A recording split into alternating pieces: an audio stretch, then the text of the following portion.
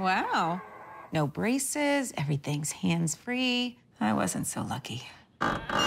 Invis is not your parents' braces. Invis is faster than braces and the clear aligner brand most trusted by doctors, Invisalign. Cupertino looking to be crowned league champs with a win over Saratoga. Ivan Garcia with the highlights.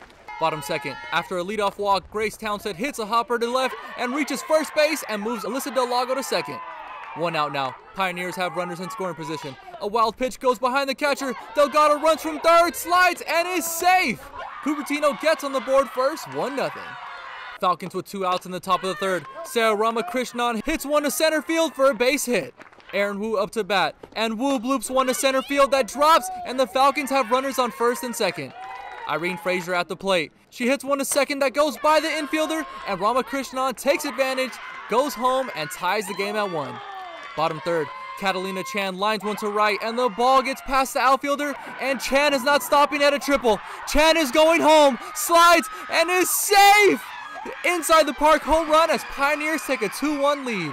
Rexanne Walker was lights out for Pioneer. The junior threw a complete game, 12 strikeouts, and gave up 5 hits with an earned run. Last chance for Saratoga. The 3-2 pitch is called a strike, and the Pioneers celebrate winning the El Camino League.